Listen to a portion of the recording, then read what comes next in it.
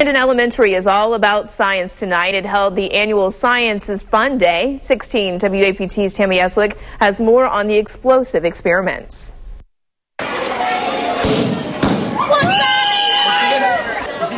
I'm Tammy Eswick. We're at Brandon Elementary School during their Science is Fun Day. Now, the entire school is participating in multiple science experiments, just like this one. You Put the Sullivan on here for me.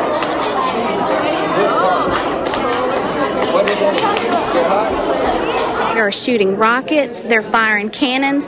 We've got kids with big water bags over their heads, and kids will stick pencils through, and none of the kids get wet from it. Anything that you can think of, we're doing it today. Now, organizers tell us this is the seventh year they put this event together, and students never miss class on this day. In Brandon, Tammy Eswick, 16 WAPT News. Well, teachers say these experiments jumpstart students' interest in learning more about science.